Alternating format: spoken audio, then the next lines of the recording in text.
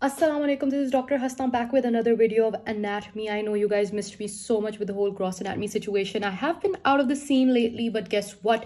I'm back with a bang and this time I'm bringing you this topic called the internal ear, guys. Internal ear is no joke. Why? Because I tried, uh, I was basically making head and neck course. Guys, I sell my courses if you are interested in that uh, look at this description down below but while i was making that course i realized that i learned internal ear for it took me like a whole day to learn it that was a little difficult and that's the moment i was like honey why should everybody go through that difficulty when they have me so here i am um, today I'm going to be teaching you it because it is a difficult topic. I realize I've done till middle ear, but I never got to internal ear. So why not explain it to you guys? So guys, back to this box I am in and back to the drawing board, which is right here in front of us. So first, let's talk about what the internal ear basic structure is. If I try to tell you guys to orient you a little bit, that um, going um, this is how the ear is structured, right? If I say I go medially, it means I'm going inside the ear. If I say I'm going laterally, I'm going leaving the ear, right? So uh, if a snake were to, no, snake is a little too much.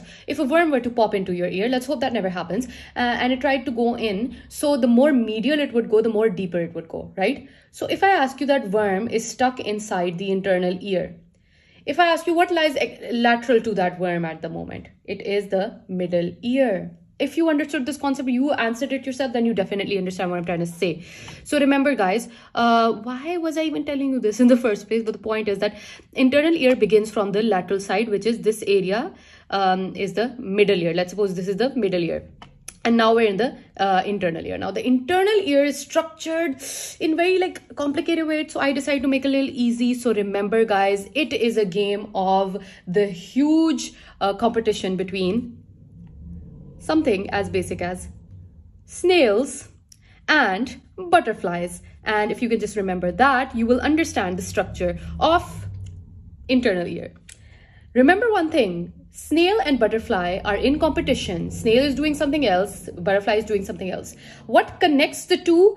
They both come together. There's a Wi-Fi that needs to connect the two, all right? So this is the basic structure of inner ear, okay? So Guys, listen to me. One, two, three. If anyone were to ask you what is the basic structure of internal ear, these this is what you're gonna say. No, you're not gonna say Wi-Fi, butterfly, snail. You're gonna say it is made up of the bony parts, the cochlea, vestibule, and semicircular canals. So the entire bony structure of the internal ear consists of the cochlea, the vestibule and the semicircular canal. The semicircular canal and the cochlea, the butterfly and snail are connected via what we call the vestibule.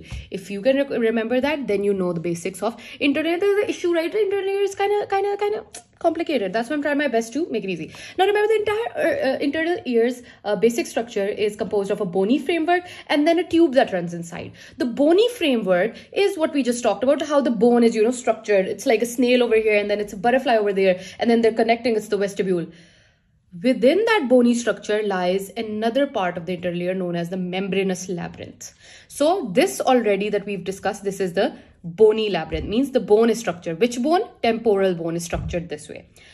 The membranous labyrinth is basically a tube that lies within these structures, okay? Now, let me just make it uh, a little bit normal structure. Three semicircular canal. You have the superior, then you have the posterior, and then you have the lateral, all right? And these all open over here. Fine. So if we have, this is the bony labyrinth, let's suppose, okay? Labyrinth means maze, something that's confusing. So that's what we've done over here. That's what's happening over here. All these canals will open into the vestibule, all right? So vestibule is the main guy. So if I say there was a tube inside, uh, this is, it's like, let's suppose you're in a water park and then you're going swimming and then you enter a tube in the slide. You go into a slide and like the slide consists of all of this inside a tube you go. So this is the tube part, like there's a whole tube inside the bony labyrinth. This is known as the membranous labyrinth. All right. So this is one part of the vestibule's membranous labyrinth. This is the other part of the vestibule's membranous labyrinth, like a bone.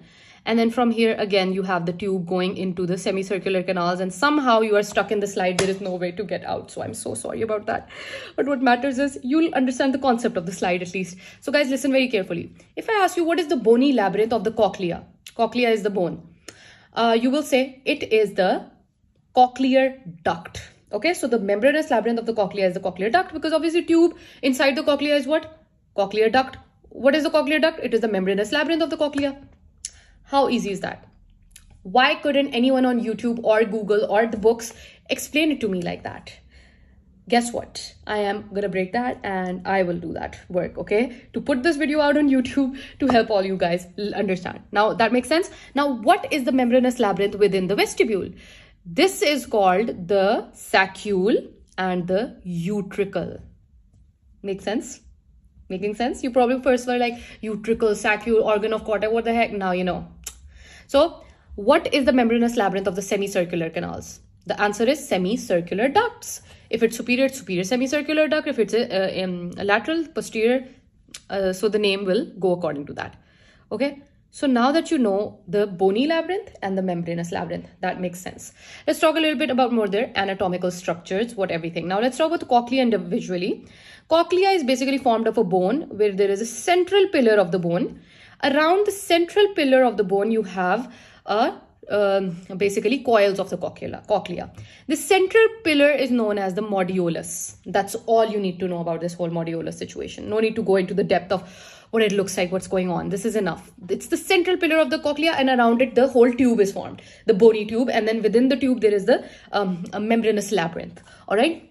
Now what happens next? What happens next? This is, this is getting interesting, right? So um, let's talk about the two fluids that rotate inside the ear. Now there is one fluid uh, that is going to be inside the bone and then there is one fluid that is going to be within the membranous labyrinth or the tube or the duct cochlear duct, utricle saccule, and the semicircular canal ducts. Okay, the the water that is accumulating outside part of the membranous labyrinth, but inside of the bony labyrinth, this is known as what we call the perilymph. Whereas the water that accumulates inside the membranous labyrinth, in case of cochlea is the cochlear duct, in case of vestibule is the utricle saccule, and inside the semicircular ducts is known as the endolymph. This concept should be out of the way. Now you get it? Now we're done with two pillars of this whole understanding. Let's talk about the difference in function. Why are there two, there's snail and butterfly, why are they like competing with each other? Simply, snail has one role and a butterfly has another role, completely different, all right? The snail produces mucus so that we slip, whereas the butterfly is, uh, what does the butterfly do? Um, uh, you know what, you guys figure that out.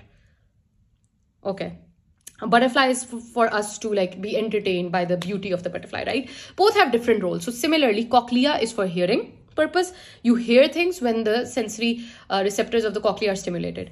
Uh, when the vestibule and the uh, semicircular ducts are uh, uh, like moved their basic role and function is balance so if at any point one of this function gets destroyed, your ear gets destroyed in any way, you will lose not only your hearing but your balance as well because your ear is functionality, not just hearing. But ear says, honey, don't limit me to one role. Give me more. You know, I am more important than that. Okay. Through the saccule comes out this duct. It's known as the ductus endolymphaticus. It ends in a bl blind pouch called the uh, sacculus endolymphaticus. That's it. Um, utricle uh, Mm, joins with the ductus endolymphaticus via a duct called the um, i just need to look at it ductus utriculosaccularis all right? So that is the duct that joins the two. Okay? Now let's talk about cochlea a little bit. So if i try to take a cross section of the cochlea like that circular what will i see? I will see within the cochlea i'll see on one side there will be the cochlear duct. What is the cochlear duct? It's a membranous labyrinth which means inside it what fluid lies? It's going to be the uh, endolymph makes sense. All right. Now there is running a membrane from the you can even call this cochlear duct a spiral lamina okay? So from the spiral lamina or from the cochlear duct towards the bony part runs a membrane called the basilar membrane. The basilar membrane separates the cochlea into the lumen of the cochlea into an upper part and a lower part. The upper part is known as scala vestibuli. The lower part is known as scala tympani.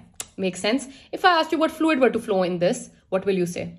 Guys, you will say perilymph. If you answered that correct, you are getting the concept of inner ear.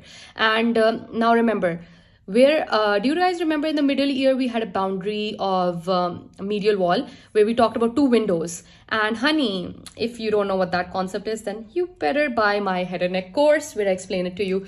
Uh, rather this is my head and neck course board. I should give you a glimpse of all of that. So this is when i taught the middle ear in my uh, board. So you can see I told you about two windows. This one window this one window and then two prominences. This is just a fun way of part of my course. Two windows I told you was above was the oval window below was the round window. My uh, main concept was that why is oval and round are the same thing? Honey imagine two names that are the same Anne and Anne. One of them is like honey we have the same name we look the same. Let's just change up the scene. You are Anne uh, Anne man and I'm Anne horse, whatever. you guys get the basic concept. Where the scala vestibuli connects with the middle ear, there is a prominence over there. There is a window over there called the fenestra vestibuli. And where the scala tympani connects to the middle ear, there is a window over there called the round window or the fenestra cochleae. So the uh, vestibuli is the oval, whereas the cochlea is the round window. Okay. So this and if someone asks you where's the organ of corti, then it is located within this area. What is this area? It's the scala media or the inside the cochlear duct.